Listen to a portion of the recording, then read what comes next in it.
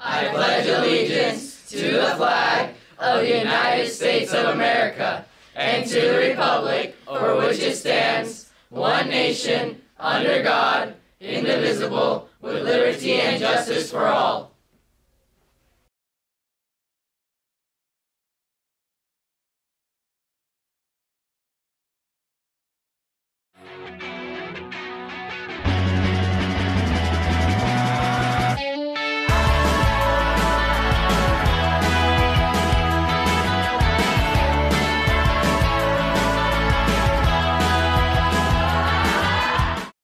Good morning, Cougars. Welcome to SCTV News for Tuesday, January 10th. I'm Audrey Brown. And I'm Sierra Brown.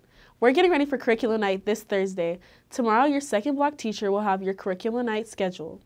Please fill it out and share it with a family member and encourage them to come to campus. Curriculum night is a chance for your Steele Canyon families to meet their students' new teachers and tour their classrooms.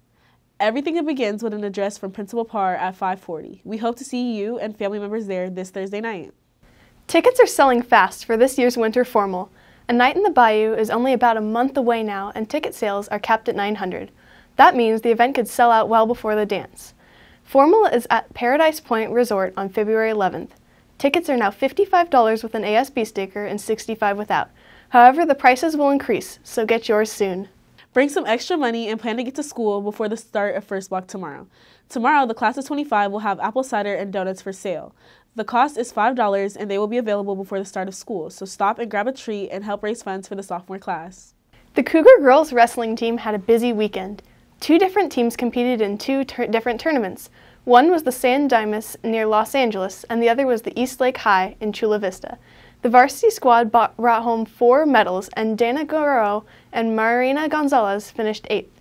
Aubrey Gona finishing sixth, and Faith Manis winning the championship. Congratulations to all the wrestlers who competed. The swim and dive team will have an informational meeting next Thursday at lunch on the pool deck. Anyone interested in joining the team this upcoming season needs to attend this meeting to receive important information. Any Cougars interested in joining the gymnastics team this upcoming season, there's an informational meeting this Thursday at lunch in Coach Tyler's room, K105. Please make plans to attend.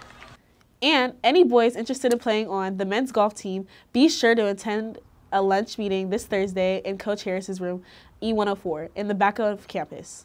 Boys basketball is at Mount Miguel today, JV at 5 and varsity at 6:30. Girls basketball is home against Granite Hills, JV at 5 and varsity at 6:30. And girls water polo is at Santana, JV at 5 and varsity at 6. That's all the news we have for you today, Cougars. Have a great week. Rah rah, Cougars. Cougar Pride, Get, get some. some.